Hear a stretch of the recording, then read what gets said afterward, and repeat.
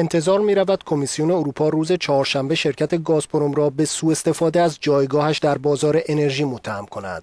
بازوی اجرایی اتحادیه اروپا معتقد است این شرکت متعلق به دولت روسیه گاز را به قیمت گرانتری به کشورهای شرق اروپا می فروشد.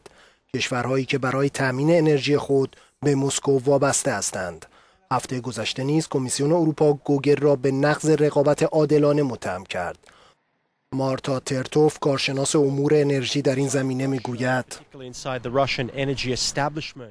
یک دیدگاه قوی در روسیه به خصوص در گازپروم و وزارت انرژی وجود دارد مبنی بر اینکه این یک پرونده سیاسی است. شخصا به این نتیجه نرسیدم. هنوز مشخص نیست که آیا این یک پرونده سیاسی است یا اینکه اقدامی از جانب نهادهای اروپایی برای اجرای قانون. در صورت محکومیت نهایی گازپروم به پرداخت جریمه معادل 10 درصد درآمد سالانش که رقمی معادل 17 میلیارد دلار خواهد بود محکوم خواهد شد.